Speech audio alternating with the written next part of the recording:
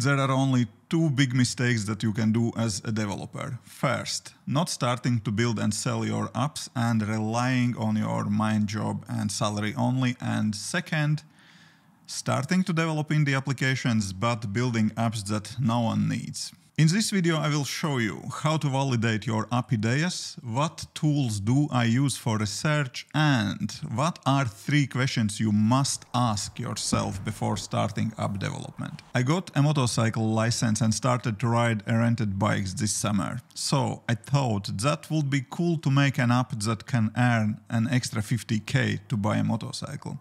So I started to look for app ideas and ideally they could be in the motorcycle niche. 15k is a big goal, but I should get it to 1k MRR first, and then it is possible to scale it. I decided that I would like to have an app where I could track all the expenses and maintenance needed and already done on motorcycle. So I sketched user interface and started to research competitors. So here are the tools that I'm using for that and I will show you how I'm doing that. I sketched my app user interface in freeform and any tool, pen and paper could work as well, but I just like have screenshots and my sketches in one place. So idea was that basically I have photo of the current motorcycle because I'm riding multiple motorcycles and renting them. I would like to keep here expenses like fuel consumption, maintenance, rent expenses, and so on here. And there could be some upcoming maintenance. For example, if I need to do the chain maintenance or change the oil because I planned to rent motorcycle for a week and ride it to the Tatras or Alps. Yeah, and basically a home button, quick entry for fuel and mine settings button here. So that's basically was my raw app idea. And I did, of course, research in the App Store and I found a few similar motorcycle kind of maintenance applications. So what should you do when you when you do that? You find your competitors, you see what they offer and most importantly, yeah, sure, you are looking on user interface for, for inspiration, but also very important, you have to go and read reviews. And I'm using the app for that. There is application named Read Reviews. You can use it for free. There is paid version as well. I have paid version. And yeah, basically you can see all the reviews for those applications in one place. I just added all the motorcycle apps here and I was looking for reviews. Also, there is built-in analytic uh, functionality here. You can get AI built kind of suggestions what you could do, what kind of bug reports are most often seen and what kind of features users are asking for. So with all this data, I already see that, yeah, my API there kind of makes sense. And uh, yeah, next question is, can I build it? Sure, I can. I even kind of jumped one step too far and made a quick prototype for this application, but I just wanted to test uh, basically how to use SwiftData for that. And yeah, then I started to do keyword research. Basically, that's the next step you would like to do. Sure, you can start with keyword research as well, but yeah. And here is my keyword research. I'm using Try Astro or Astro app for keyword research, and here are my keywords for the app. How do I do that? Basically, I'm just adding new app. You can add temporary application.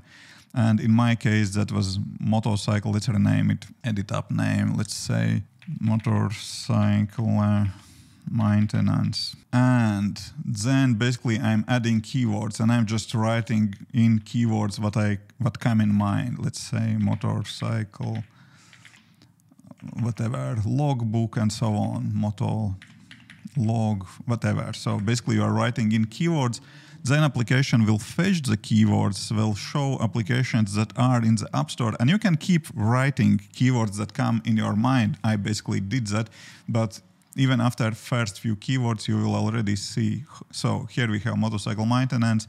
Those applications are kind of dominating this keyword. But most important thing that you can do here, you can extract all the competitor keywords and you can basically just go and kind of take what works for you. Let's say connect Yamaha unlikely, whatever maintenance, maintenance, log maintenance, log motorcycle, stuff like that. You just adding keywords.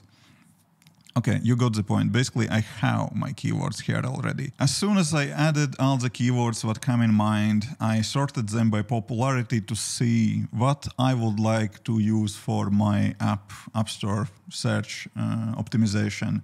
That's long topic. Do not stick on that. But basically, just let's see on what what keywords are popular here.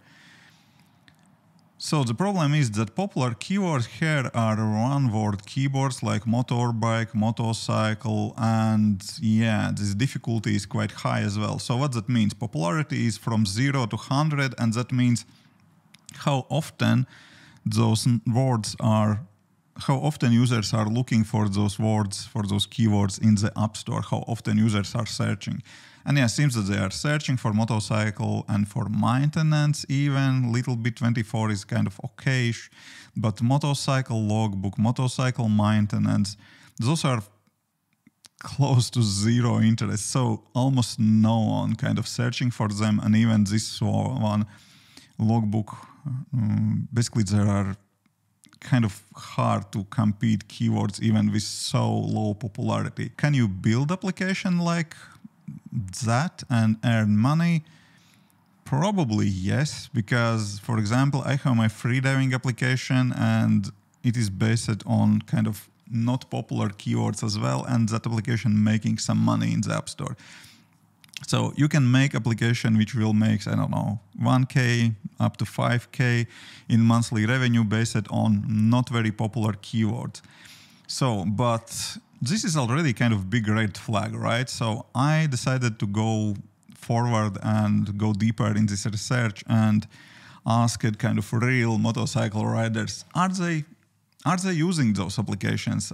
Because we have applications like that in the App Store, right? So here are here are quite a few applications which are basically providing this functionality and looking from reviews and feedback so there is some amount of users who are using that. So i just posted question on on twitter on x and i asked it basically if you are motorcycle rider, do you use apps like that? I made a pool, and here are the results. Basically, two hours left from 20 hours, 24 hours of this pool, and yeah, most of the users are saying that no, they're not using applications. And I also got some comments. Bruno is building the application, so one more competitor.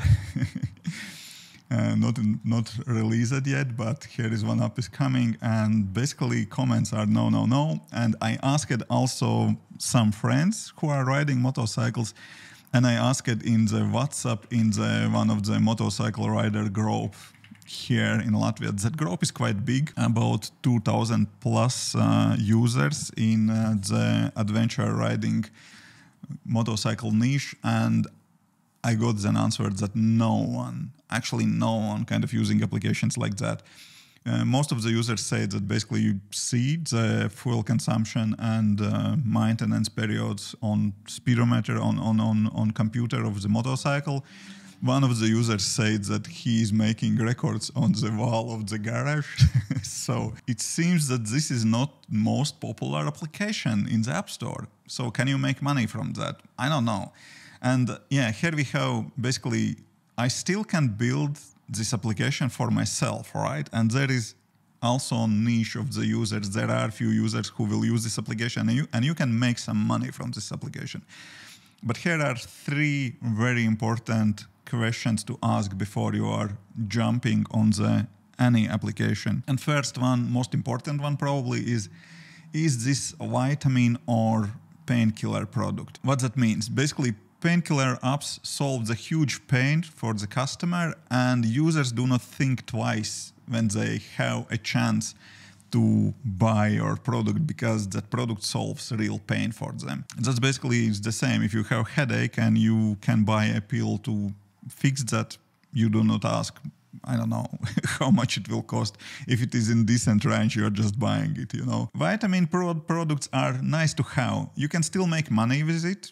There are also vitamin industry is huge, but yeah, if you can choose between two different products, work on painkiller product because uh, vitamin products always are harder to sell and that will be first in the list to cancel subscription in case of any cost cutting. My app idea about this uh, motorcycle maintenance definitely is in the vitamin category and even so seems that very few users are using it. The next question is can you push this product to 1k MRR? Why 1k? So from all the apps in the App Store only 17% of the applications are getting to the 1k in MRR and all of the rest are below that. But those applications which are getting to this 1K uh, MRR, monthly recurring revenue, they are getting to two and a half and 5K as well. So there is high chance to grow it I don't know, to 10k in a month as well. So those applications that we have, what we have here in the App Store, I see that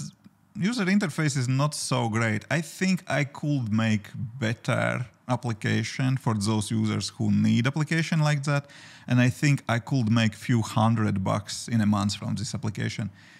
1K, that's really hard already. So, and if you're already not sure that you can make 1K in a month, unlikely you will push it forward to make more. So better choose other product project if you have a chance. The last but not least question, are you passionate enough about this project to work on it for 6 to 12 months until you will make it profitable because unlikely you will get uh, revenue from this project on day one. Probably you will need to work at least for three months to see if this project have legs and then yeah six to 12 months to bring it to its potential. If I'm asking myself, I'm not sure if motorcycle maintenance project is the one which I would like to work in this in the winter in the Latvian winter without riding motorcycle and so on. Currently, yes, I am very passionate about this topic about motorcycles and everything, but